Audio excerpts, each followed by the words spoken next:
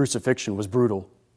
It was designed to inflict maximum pain, public humiliation, and ultimately death. Jesus was crucified. Nails were driven through his wrist and feet. As he hung on the cross, he would struggle for breath.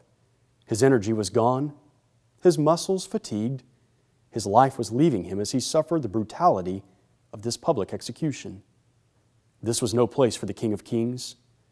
Jesus was hanging alongside the criminals, mocked, beaten, and crucified. Jesus would suffer for the sake of the world.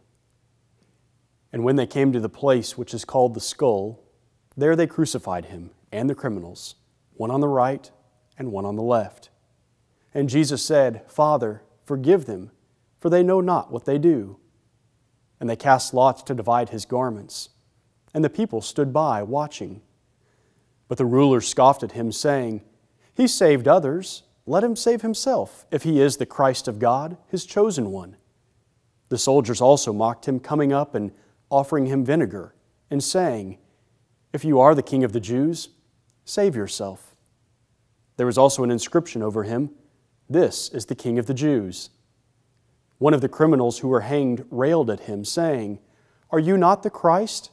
Save yourself and us. But the other rebuked him, saying, Do you not fear God, since you are under the same sentence of condemnation? Let us pray. Loving God, the cross was no place for your Son.